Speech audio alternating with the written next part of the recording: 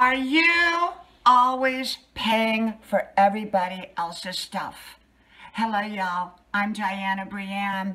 Well, you know, I don't give advice, I don't give suggestions. I just share with you how I see life and my perspective on different topics, okay?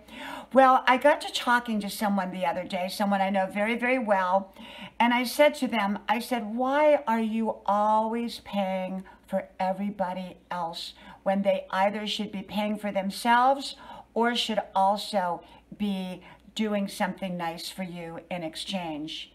And they said, well, they don't pay for themselves. And I said, well, you know what?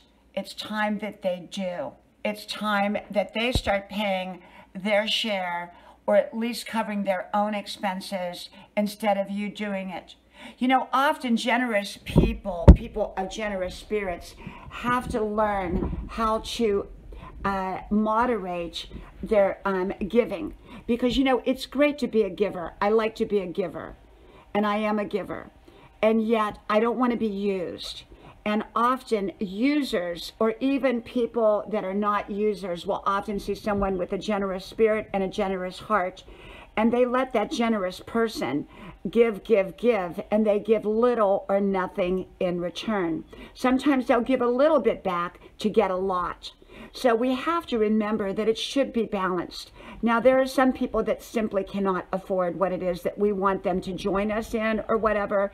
And I got that. Sometimes we go ahead and we're generous and we pay for somebody else. And yet, often those very same people um, have the money to do that. I remember many, many, many years ago, I was very generous to someone over and over and over. And because I didn't think they had any money, I didn't think they had any money. It turned out to be they had a lot of money a lot of money, okay? And they actually made a promise, and it was a silly little promise. They said, you know what, when you come by with your new car, I'll wash and wax it for you. And, you know, something told me, and I didn't need them to wash and wax my car, okay? I never needed that because I got it done myself. But you know what? One day, just to kind of see, I say, hey, I'm going to come by. Can you wash and wax my car?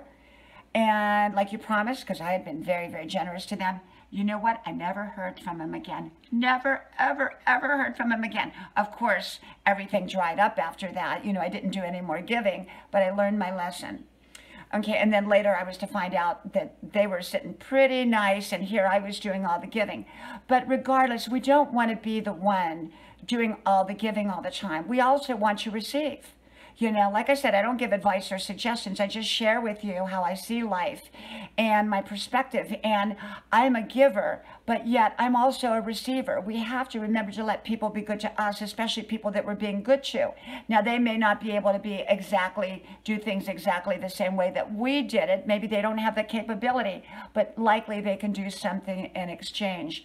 But if we're doing all the giving, it's sort of like buying a friendship you know, and I don't want to do that. I've done that in my life where I was the one giving, giving, giving, and receiving very little or nothing in return. And so now I like more balance and more harmony in my relationships. And I do let other people give to me because I give back generously. Okay? From my house to yours, make sure you let other people give to you as well. I hope to talk to you soon again. I hope you like, share, subscribe to all five of my channels. Links are pinned to the top of the comment section below. If you connect with me, I will likely connect back with you with all five. Hope to talk to you then. Bye-bye.